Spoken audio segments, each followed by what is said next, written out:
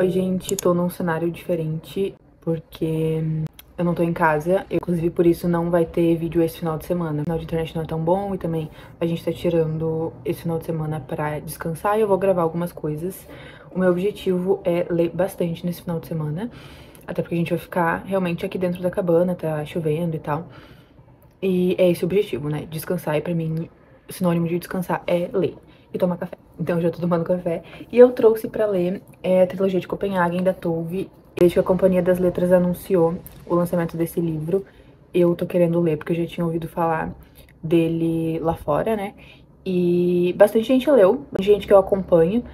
E eu só ouvi elogios sobre o livro, então eu tô bem animada pra ler. E essa vai ser minha leitura do hum, desafio de ler um país diferente todo mês.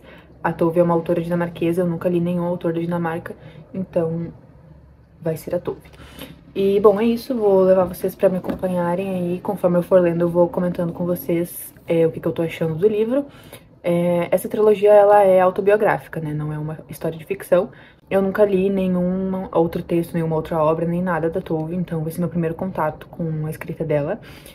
E, enfim, tô bem animada, eu não comecei ainda, vou começar e aí eu conto pra vocês o que eu tô achando.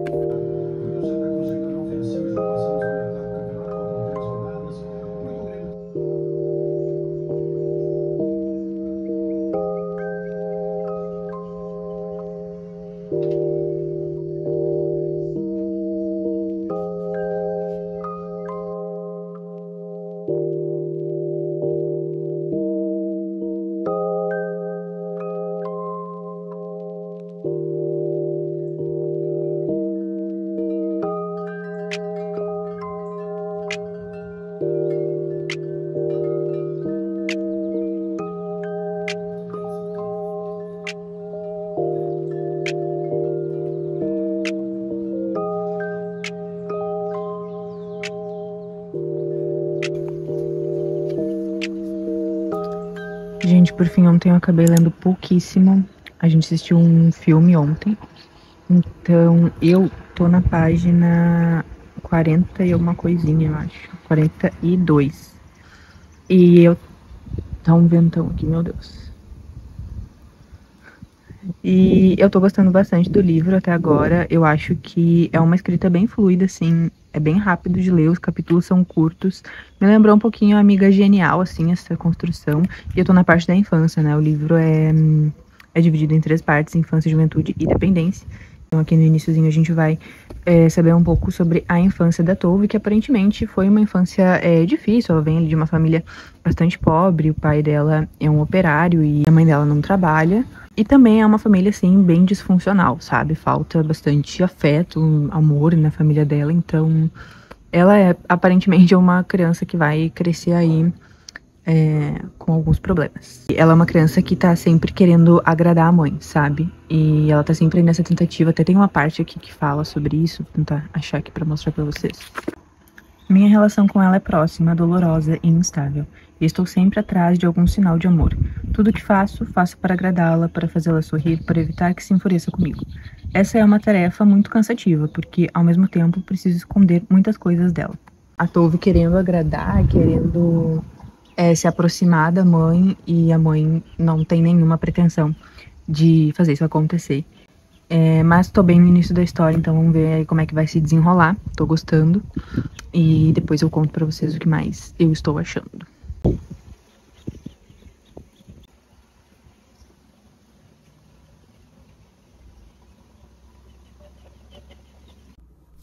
Oi, gente. Bom, já tô em casa, né? Evidentemente. Mas eu vou continuar esse vlog até eu finalizar a leitura da trilogia de Copenhagen. Eu... Hoje já é sábado, e, enfim, passou uma semana desde que eu gravei a última vez. E ao longo dessa semana, aliás, ao longo da semana, no geral, eu não leio tanto, né? E aí, ao longo dessa semana, eu tentei focar em terminar um outro livro que eu tava lendo, que é Departamento de Especulação, porque hum, teria o um encontro amanhã, né? Amanhã, domingo, vai ter o um encontro do clube para discutir esse livro. Eu queria terminar então a tempo de, do encontro. E aí eu finalizei ele ao longo da semana. Por fim, eu me toquei que eu não vou conseguir participar do encontro amanhã. Vai estar tá dando jogo na hora do encontro. O encontro é 7 horas da noite e tem Grenal começa às 6 horas. Eu acho que é uma coisa que eu nunca comentei aqui, talvez eu tenha comentado em algum momento no Instagram. Mas eu gosto bastante de futebol. Eu torço pro Grêmio, inclusive tenho uma tatuagem que eu fiz quando o Grêmio ganhou a Libertadores de 2017. E, enfim, eu não vou conseguir participar do encontro amanhã por conta. porque vai estar tá dando jogo, né? Mas enfim, não sei porque eu comecei a falar sobre esse assunto. Para falar. Ah, lembrei. Para falar que eu quase não li a trilogia de Copenhagen durante a semana porque eu tava focando em finalizar Departamento de Especulação.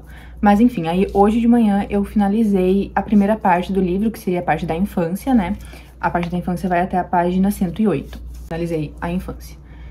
Por enquanto, ele é um livro muito bom, muito bem escrito. A escrita da Tove, ela é bem fluida, assim, passa muito rápido, a gente não vê passar. Livro, assim, gostoso de ler, sabe? Mas é, não tem nada de espetacular, assim, não... Até o momento aqui, né, não é algo que, assim, vai se tornar um favorito. Eu sei que é favorito de muita gente, eu vi muita gente que favoritou esse livro. Então, para mim, assim, a história em si não tem nada de espetacular. A Tove, ela teve uma infância triste, mas comum, infelizmente, uma infância comum é, principalmente pra época, né? É, ela teve uma infância pobre, ela não tinha uma relação assim tão boa com os pais, ela estava sempre tentando agradar a mãe, que não dava assim tanta atenção para ela, mas ela também não sofria nenhum tipo de abuso, nem nada, não é nada assim super triste, mas é, enfim, ela não tinha uma relação assim tão boa com os pais e com o irmão, né? Ela era um pouco distante deles. E ela também era uma menina assim excluída na escola por ser muito diferente. É, ela não tinha o mesmo interesse é, em namoro, em meninos, quanto as coleguinhas dela, enfim. Então é o tipo de história, assim, que a gente já leu em muitos livros. Eu sei que, assim, obviamente não é culpa da Tove, porque é a vida dela, ela não inventou isso, não é uma ficção. Ela literalmente tá só contando a vida dela, então eu não tô criticando isso, só não é, é algo, assim, que me encantou muito, enfim. Vamos ver se agora, a partir da juventude, algo mais interessante começa a acontecer. Eu acho que agora talvez ela vai conseguir começar a contar como ela entrou aí na carreira de escritora, né? Ela desde criança quis ser poeta. Então talvez ela vai contar um pouco sobre isso e aí seja mais interessante. A escrita em si é muito boa. Aqui até diz que hum, pode ser considerada uma antecessora temática das obras de Annie Ernaux e Helena Ferrante. Eu nunca li Annie Ernaux, então não posso dizer para vocês, mas referente a Helena Ferrante, eu achei sim que tem alguma relação. Tanto da escrita, os capítulos assim são bem curtos, e também um pouco ali nessa parte da infância. A tem ali uma amiga que ela faz na, no condomínio onde ela mora, e que ela admira muito essa amiga, e é uma, é uma relação assim de amizade que tem um pouquinho de inveja, e é uma relação um pouco até de dependência. Lembra um pouco a relação da Lila e da Lenu no primeiro livro da tetralogia napolitana. Como fala aqui também, a, a Tove ela é a antecessora né, da, da Helena Ferrante. A Tove, ela nasceu em 1918, se eu não me engano. Tô gostando, mas até o momento não tá se encaminhando para ser um favorito. Vou continuar lendo ele hoje. Queria ver se eu termino ele nesse final de semana, pra já conseguir daí finalizar também esse vlog, já editar e soltar ele na semana. Mas não tenho certeza se vai rolar. Enfim, vou atualizando vocês depois. Oi, gente. Domingo chegou e com ele a depressão. Cadê? Uh, então, gente, eu li mais um pouco ontem. Eu tô na página 154 agora, no início da juventude da Tove. Eu não sei exatamente quantos anos ela tem aqui, eu acho que ela falou e eu sou péssima, né? Eu acho que ela tem 15. E, enfim, ela começa aqui a contar um pouco sobre o início da vida profissional dela, ainda não como escritora, que é o que ela quer ser, mas é, os primeiros empregos, né? Porque é normal, ela veio de uma família pobre, então logo que ela teve idade para poder começar a trabalhar, ela já foi procurar o primeiro emprego. É, ela tá agora, nesse momento, no terceiro emprego dela. O primeiro emprego, ela durou um dia. Eu tô dando spoiler né, do livro. Ai, gente, não sei se... Enfim, não, não são coisas assim, tipo, muito marcantes, mas enfim... Eu vou, vou falar, desculpa. Porque eu acho que também a experiência aqui não é tanto o que acontece, mas a forma como é contado, como é narrado e tal. Acho que isso é a experiência de leitura. Então acho que os fatos em si não vão. Saber os fatos em si não vai estragar a experiência de ninguém, sabe? É, enfim, ela tá aqui numa. num terceiro emprego, porque no primeiro emprego dela ela durou só um dia. Ela era babá de uma criança e realmente foi, assim, desastroso. Então, ela já se demitiu no primeiro dia. Aí, depois ela arranja um outro emprego como estoquista, em que ela fica durante um tempo, mas aí ela acaba sendo demitida porque ela tá meio que é, instigando uma rebelião dentro da, da empresa. E ela tá aqui então no terceiro emprego dela, que é um emprego diante num escritório, que ela só tem que ficar sentada o dia inteiro sem fazer nada. E, e aí ela passa os dias dela pensando só em, tipo assim, o que, que ela vai fazer para conseguir se tornar escritora, porque ela não tem, assim, nenhuma perspectiva, ela não tem ideia de como ela vai fazer isso acontecer, só que ela tem certeza de que ela tem que fazer isso acontecer. Ela não consegue imaginar a vida dela sem, sem isso, sabe? O que ela quer é escrever poemas e publicar os poemas dela. É, eu não sei também ainda como isso vai acontecer, porque ela ainda é bem nova aqui. E eu tô achando essa segunda parte mais interessante, assim, porque a gente começa a entender também um pouco mais o, o pano de fundo político que tem aqui na história. O pai dela é um homem bem politizado, ele é social-democrata e ela convive com pessoas que são o extremo oposto. Então, ela tem ali os dois lados da moeda, ela ainda é uma menina muito jovem, tentando formar a opinião política dela, e ela não se interessa ainda tanto assim por política. Mas eu acho que talvez daqui, ela tá dando sinais de que daqui em diante ela vai começar a se interessar um pouco. Tô achando mais interessante esse início da juventude dela. Ela apesar de já ser uma adolescente e a maioria das adolescentes da idade dela estarem é, tendo como único assunto do momento é, relações amorosas, o primeiro namorado, arranjar um marido, ela não tá nem um pouco interessada nisso, ela realmente só tá focada em descobrir como que ela vai iniciar a carreira de escritora dela. Olha isso aqui. Enfim, ela tá só focada em descobrir como ela vai começar a carreira de escritora dela. E hum, ela acaba se envolvendo ali com o menino no segundo emprego que ela teve, mas foi uma coisa assim muito breve, ela não gostava muito dele, era mais porque, tipo assim, ela não tinha nenhuma amiga, então era alguém com quem ela podia bater um papo de vez em quando. Ontem eu esqueci de comentar com vocês que eu queria ler dois trechos da parte da infância dela. Na página 37, ela diz: A maioria dos adultos diz que teve uma infância feliz e talvez eles próprios acreditem nisso, mas eu não acredito. Acredito que essas pessoas simplesmente tiveram a sorte de esquecê-la. E aí depois, lá na página 107, ela fala Estou sozinha na sala de minha infância, onde meu irmão uma vez cravou pregos numa tábua, enquanto minha mãe cantava e meu pai lia o livro proibido que não vejo há anos. Tudo isso se passou séculos atrás e penso como que era muito feliz naquele tempo. Então, assim, no momento ela fala como os adultos dizem que tiveram uma infância feliz e ela tem certeza de que isso é mentira, e aí agora, depois ela fala que ela lembra da infância dela como um tempo feliz. Oi, gente. Acho que vou ter que tirar meu óculos, né? Porque tá dando reflexo.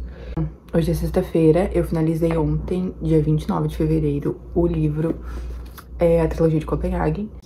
E vim então falar as minhas considerações finais.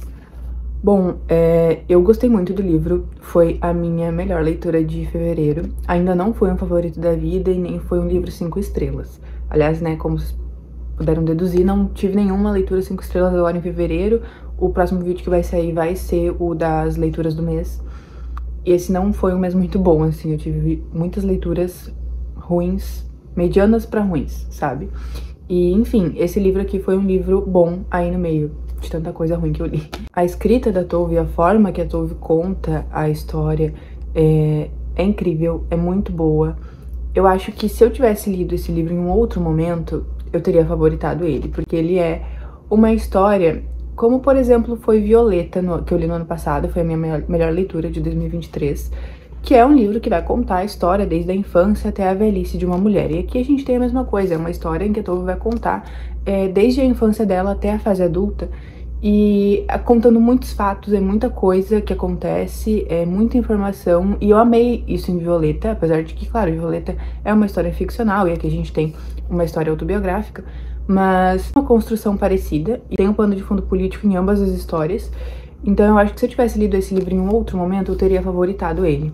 Agora, nesse momento, eu realmente tô numa vibe de livros curtos e livros é, contemporâneos, sobre algum assunto específico e não assim uma trajetória, sabe? Então acho que tudo depende muito de quando a gente lê, da forma que a gente lê. Eu acho, sinceramente, que eu li esse livro com preguiça.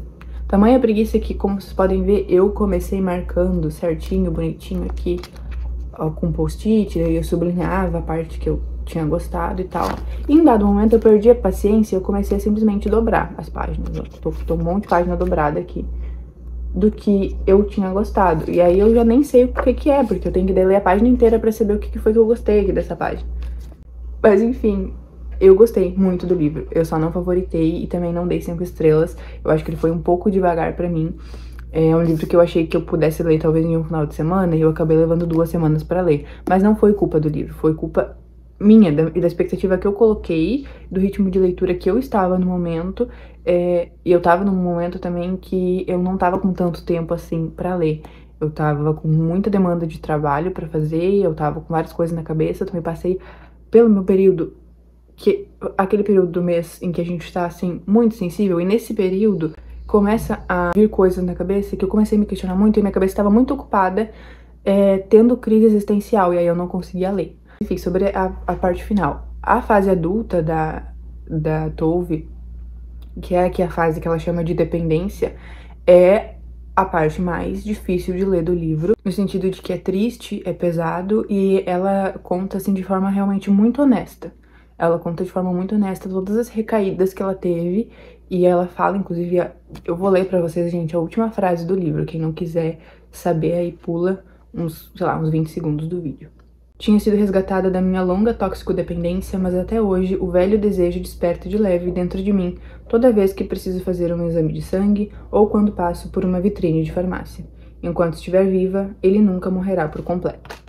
Conta assim de forma muito honesta como foi difícil se recuperar e sair dessa toxicodependência e como ela teve várias recaídas aí ao longo dos anos. E como mesmo agora, agora, no caso, quando ela publica esse livro, né, quando ela escreve esse livro, ela tem plena ciência de que ela pode a qualquer momento ter uma recaída de novo, como ela nunca vai se ver 100% livre desse vício. Talvez muitas pessoas, inclusive eu, não consigam entender a dimensão disso aqui porque nunca passaram por qualquer tipo de dependência. E mesmo assim já é assim uma carga pesada. Eu acho que para quem tem uma relação mais próxima com isso, com quem teve talvez é, algum parente próximo, algum amigo, perdeu alguém para dependência química, talvez vá ser ainda mais difícil ler aqui os relatos que a Tove coloca. Fica aí a indicação, né? Fica aí a recomendação para quem tava em dúvida se lia ou não o livro. Acho que vale muito a pena e eu acho que pode ser favorito de muitos de vocês também. É, é isso, espero que vocês tenham gostado do vídeo. Como eu falei pra vocês, o próximo vídeo vai ser o vídeo de, das leituras de fevereiro, no próximo domingo.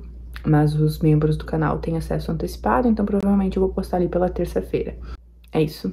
Deixem um like, um comentário e um beijo.